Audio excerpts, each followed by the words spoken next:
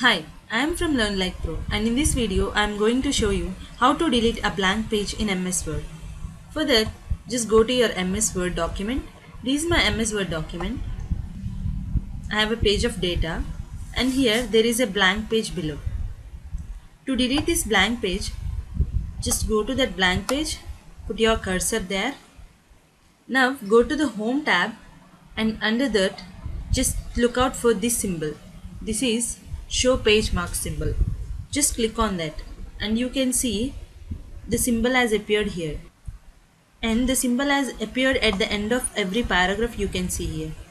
Now just check out whether your cursor is just before the symbol or not and then click backspace and see the blank page has disappeared just go back to the symbol and just click it now and all the symbols have gone now